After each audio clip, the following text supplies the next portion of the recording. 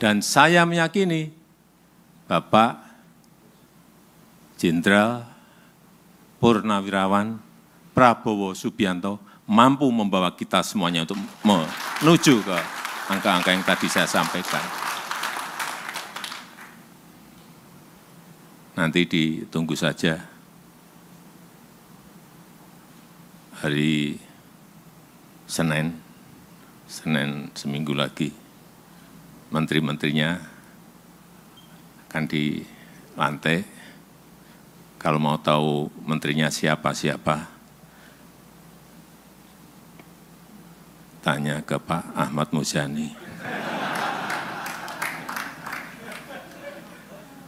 Jangan tanya ke saya yang berkaitan dengan itu.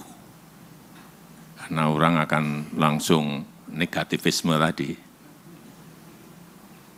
Saya ikut-ikut intervensi. Enggak. Saya pun juga tidak mau diintervensi untuk urusan hak prerogatif. Jadi sama, saya juga tidak ingin ikut-ikutan. Tapi kalau ditanya, ya saya jawab. Kalau ditanya, kalau enggak ditanya, saya enggak akan jawab. Pak, gimana ini? Menurut Bapak, Pak Andri Rosadi? Nah, saya jawab. Kalau enggak, enggak, enggak, enggak.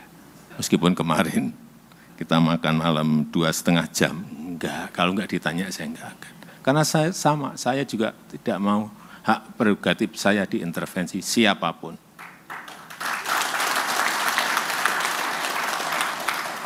Itu hak yang diberikan pada rakyat, kemudian di dalam pemilu di transfer ke saya.